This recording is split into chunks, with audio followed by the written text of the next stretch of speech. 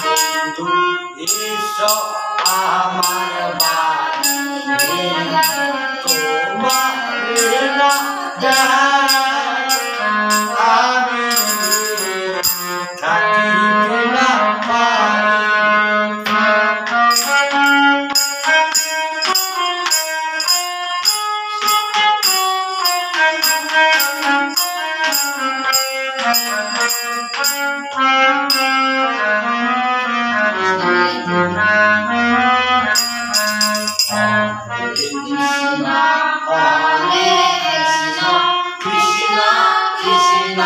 Amém.